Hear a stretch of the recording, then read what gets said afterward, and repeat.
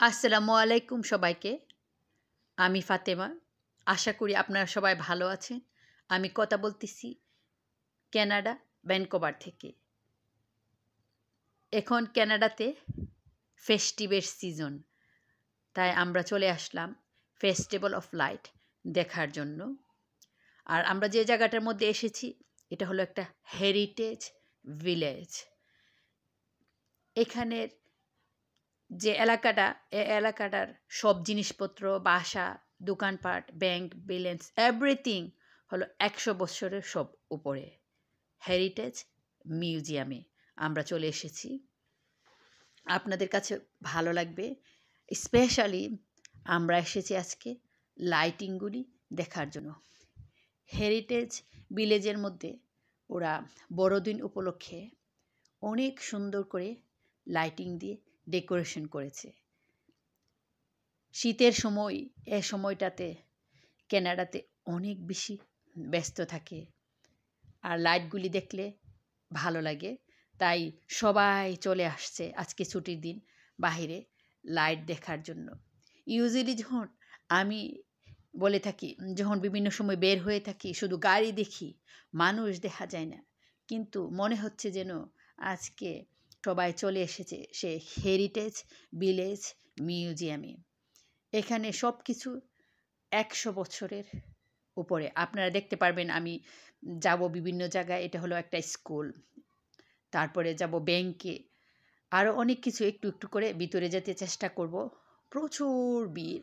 সবাই লাইট দেখতে চলে এসেছে। অনেক সুন্দর করে বিভিন্ন জায়গায় গাছ থেকে শুরু করে বাসা ভিতরে বাহিরে লাইট দিয়ে বিভিন্ন কালারফুল লাইট ডেকোরেশন যে করেছে। খুবই ভালো লাগতেছে শীতের সময়। ছোটো একটা দিন এসবের মধ্যে লাইটগুলি দেখতে কিন্তু ভালো লাগে। প্রচুর ভিড়। এখানে আসতে, আজকে আমাদের অনেক সময় লেগেছে। গাড়ির পার্কিং সহজে পাওয়া যায় না। আমরা অবশ্য অনেক দূরে রেখে হাঁটতে হাঁটতে চলে আসলাম দেখার জন্য। বিভিন্ন কালারফুল লাইট নিশ্চয় আপনারা দেখতে পারতেছেন। লাইটের কারণে এত ভালোভাবে ক্লিয়ারলি আমি আপনাদেরকে দেখাতে পারতেছি না।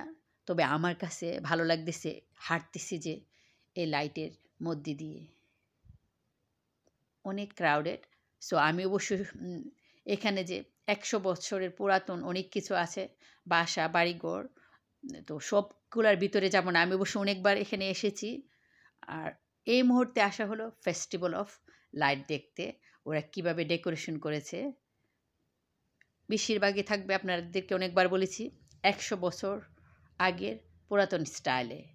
তারপরেও কিন্তু ভালোই লাগতেছে।